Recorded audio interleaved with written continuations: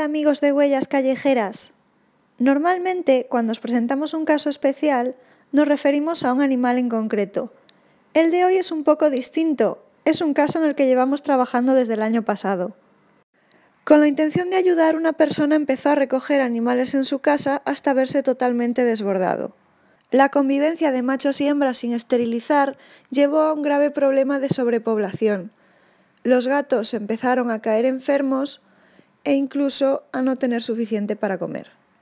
Huellas Callejeras es una asociación relativamente pequeña, no tenemos refugio propio y dependemos de las casas de acogida para hacernos cargo de animales abandonados. Un caso como este excedía ampliamente nuestra capacidad. Aún así decidimos que dentro de nuestras posibilidades algo teníamos que hacer. Fuimos haciendo sitio y sacando de esa casa primero a los más vulnerables, a los gatitos pequeños y a las gatas que necesitaban atención más urgente. Las imágenes de estos rescates son las que estáis viendo en pantalla. Pero lo urgente no podía hacer olvidar lo importante, que esa población no siguiese creciendo y no siguiesen naciendo gatitos en esas condiciones. Para eso, lo prioritario era retirar de allí a todas las hembras. Y así lo hicimos. En total, Huellas Callejeras se hizo cargo de 74 animales. Entre ellos animales con todo tipo de problemas veterinarios. Necesitaron extracciones dentales, enucleaciones oculares, mastectomías y todo tipo de cirugías. Y otros con problemas de socialización que hacían muy difícil su futura adopción. En todo ello hemos trabajado durante este año y la mejoría es clara y evidente. No ha sido una transición fácil, pero ha valido la pena. De aquellos 74 animales, Huellas Callejeras sigue haciéndose cargo a día de hoy, un año más tarde, de 30 hembras.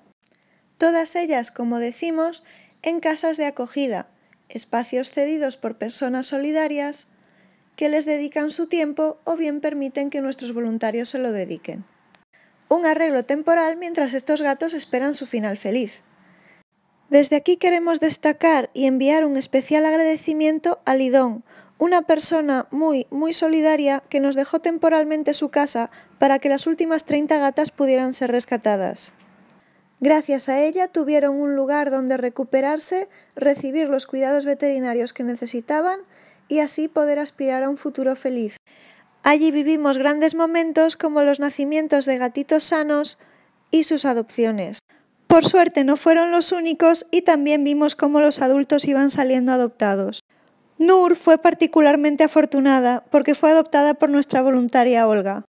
Olga es la cuidadora principal de este caso y es un ejemplo a seguir para todas nosotras. Este vídeo no estaría completo sin darle las gracias. ¿Cómo podéis ayudarnos con los 200? Pues tenemos muchas maneras. La primera y más simple son las donaciones. Mantener a estos animales y pagar sus tratamientos es y seguirá siendo una carga económica importante para la protectora.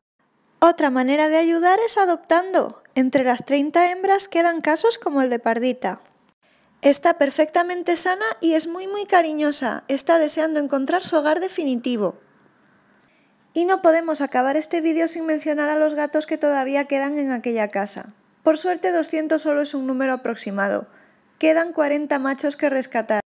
Nosotras estamos listas, solo necesitamos un sitio donde acogerlos. ¿Nos ayudas?